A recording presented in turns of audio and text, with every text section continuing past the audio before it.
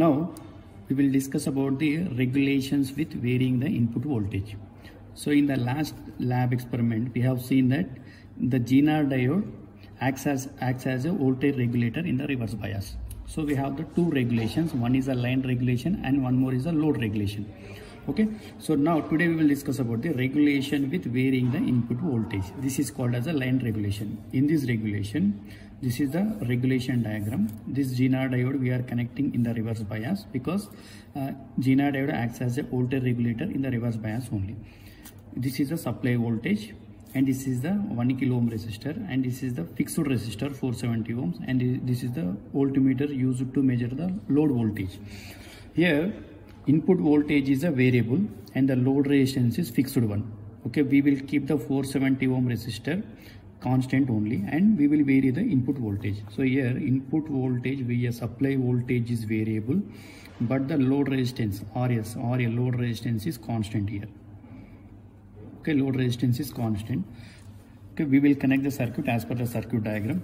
Zener diode so Zener diode cathode is connected to 1 kilo 1 kilo ohm second terminal is connected to uh, diode cathode so I am connecting here if it is connected means we will connect vertically next to Zener diode anode is connected to ground Zener diode anode is connected to ground next this is the RPS RPS positive is connected to 1 kilo ohm first terminal. Okay, 1 kilo ohm first terminal. Next to RPS negative. Here RPS negative. RPS negative is connected to ground. RPS negative is connected to ground. If you see the diagram, if you see the diagram here rps positive is connected to 1 kilo ohm first terminal. That's why i am connecting rps positive to 1 kilo ohm first terminal. Next here rps negative is connected to ground. So here rps negative. This is rps negative. Rps negative is connected to ground. Next if you see the circuit diagram next we will connect the 470 ohm resistor. So instead of taking the 470 ohm resistor here we are taking the drb this is this is called as a drb decade resistance box. By using this decade resistance box we can take the different resistor values. We can vary the resistors by using this drb okay? Now this is a DR, drb first terminal and it is a drb second terminal. So for this i am taking the 470 ohms. So there are different knobs here. Okay 1 2 3 4 4 into 100 400 plus it is 70 we required 70 okay it is 7 into 10 470 total. 400 plus 10 into 7 70 4 into 100 400 400 plus 70 total 470 ohm resistor. So here 470 if you see the diagram in the diagram 470 ohm first terminal is connected to this junction point and this 470 ohm second terminal is connected to ground. Okay this 470 ohm first terminal is connected to the junction point.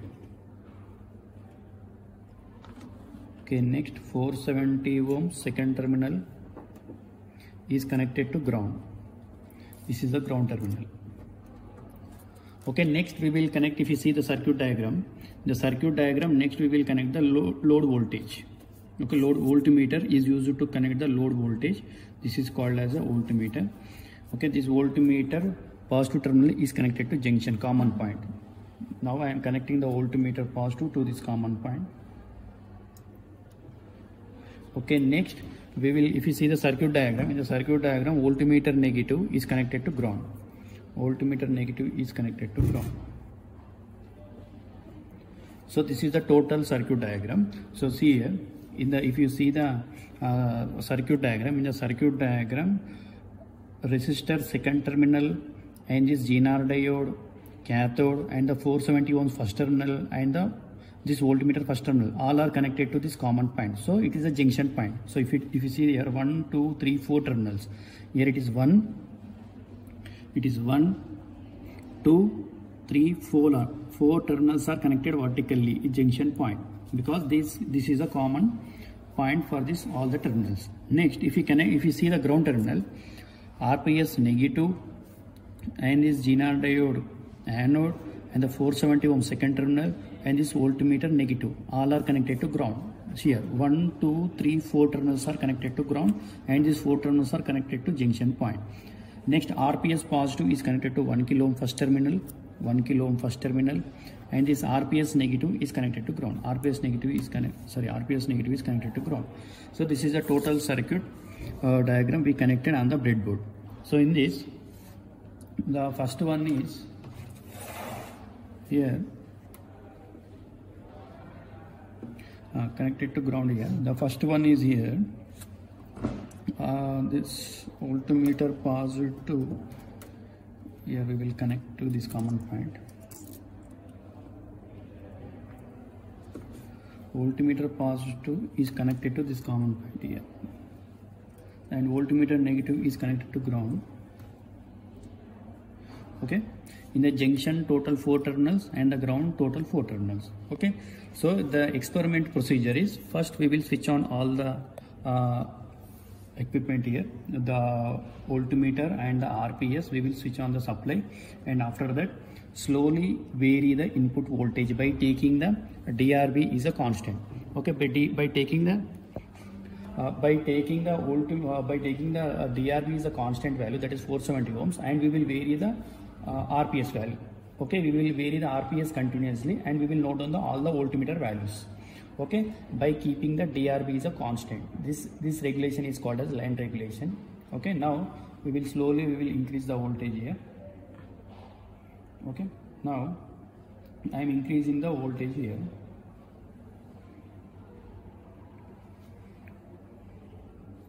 Okay? I'm increasing the voltage. If we increase the voltage to 1 volt so here i am increasing the voltage okay i am varying the voltage. The voltage value is 1 okay voltmeter is showing the 1 volt. Okay now i am increase the volt, uh, rps value continuously up to 2 volts. Here it is showing the 2 volts. And next i am increase the rps value up to 3 volts in the voltmeter. So it is showing the 3 volts here. Okay next again I am increasing the RPS value up to 4 volts. Again I will increase the this RPS value up to certain voltage. It is showing the 4.8 volts. Okay? Now again if you increase the rps continuously see here i mean i'm increasing the rps continuously but there is no change in the voltmeter. Voltmeter is showing the constant value. Okay? Here if you here it is 23 suppose if you take the 20 volts here it is supply voltage is 20 volts but this voltmeter the load voltage is showing 4.9 only again i am increasing the this supply voltage to 22 volts but here it is constant 4.9 only. Here if you take the if you increase the voltage from 22 to 23 24 25 26 27 but there is no change in the voltage this voltage value here. Voltage value is constant. So from this we can say that in the line regulation if you increase the supply voltage is continuously okay by keeping the load resistance is constant that 470 ohms is the constant but if you increase the supply voltages continuously after certain voltage that 4.8 volts or 4.9 volts the voltage is constant. If you increase the, the, supply voltage continuously. So this regulation is called as a line regulation. So if you see the values so like this we will get. Okay? So we are increasing the supply voltage we are getting the 1 volts. And again we are increasing the supply voltage here we, we are getting the load voltage is 2 up to 4.8 the load voltage is increasing if you increase the supply voltage. But after this 4.8 or 4.9 volts okay some of uh, some of you get 4.8 or some of you get 4.9 at 4.8 exactly or 4.9 if you increase the supply voltage continuously but there is no change in the load voltage. Load voltage is constant okay? If you increase the supply voltage continuously and by keep, by keeping the load resistance constant the load voltage is constant okay this is about the uh, line regulation. Now let's see the load regulation. So this is the load regulation diagram. Now we will discuss about the load regulation here. So in the line regulation we have increased the supply voltage continuously by keeping the load resistance. But in this case it is called as a load regulation. Regulation with varying the load resistance here. In this regulation we will keep voltage supply voltage is constant and we will vary the load resistance continuously. We will get the output voltage is constant or not that we will see. It is a load voltage okay we will measure by using this voltmeter. The connections are as it is okay uh, same as the line regulation only. But here the input voltage if you take the input voltage here we take the input voltage we will take one voltage constant. Okay? Voltmeter is constant here. Voltmeter is constant. Uh, this voltmeter is constant. Okay? Uh, 12 volts. We will take the voltmeter is uh, 12 volts voltmeter by taking the 12 volts constant and we will vary the load resistance continuously. First i am taking the 1 kilo ohm. This load resistance value i am taking 1 kilo ohm okay? Here if you take the load resistance is 1 kilo ohm here there is no change. Okay? Now if you take the 2 kilo ohm wait a minute.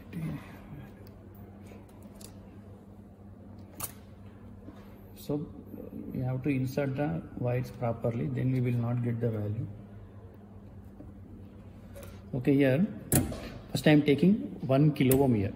If you take 1 kilo ohm i am, I am getting 4.5 volts here. Okay 4.5 volts. Now if i increase the uh, DRB value from 1 kilo ohm to 2 kilo ohm I am increasing this 1 kilo ohm to 2 kilo ohm I am getting the same 4.7 volts. Okay? Now if I am increase the value here so here I am getting 4.7 volts only. Now I am increasing the uh, load resistance from 3 kilo ohm to 4 kilo ohm.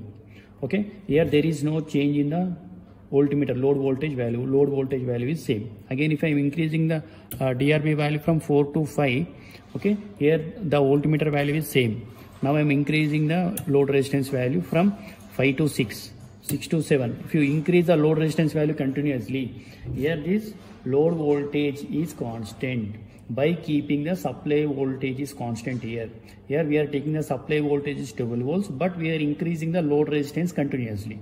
Okay with this up to 4.7 volts. There is a change in the voltage output voltage load voltage but after 4.7 volts if you increase the load resistance continuously there is no change in the load voltage. Load voltage is constant. If you increase the continuously the load resistance by, keep, by keeping the supply voltage is constant this regulation is called as a load regulation.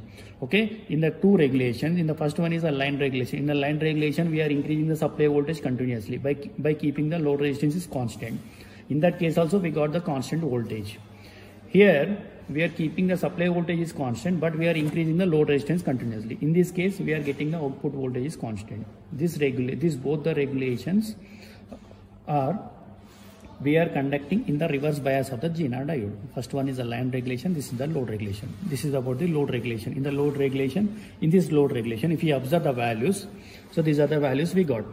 At 1 kilo ohm, we got one value, and at 2 kilo ohm, we got 4.6 volts. At 3 kilo ohm, 4.7 volts. At 4 kilo ohm, 4.7 volts. Continuously, we are getting the same values. Okay, so if you see the characteristics, if you see the characteristics of the um, this Zener diode, the forward bias up to 0.7 volts, there is no conduction. After 0.7 volts, it starts conducting okay drastically. But in the reverse bias, up to 4.7 volts, it, we are getting the very small current here. Okay, after 4.7 volts, okay, current is increasing, but the voltage is constant here. We are getting the voltage is constant. Here voltage is constant but the current is increasing. What is that voltage here? Here we will get 4.7 volts. In the both the regulations line regulation and load regulation also we will get the same. Okay this is the forward bias and reverse bias characteristics of Zener diode okay this current we will find out this load current we will find out by using i is equal to v by r. Okay v value is 4.5 and the r value is 1 kilo like this we will calculate the load current. This is about the line current and load current. In the both the regulations in the both the regulation the output voltage is constant. Okay this is about the regulations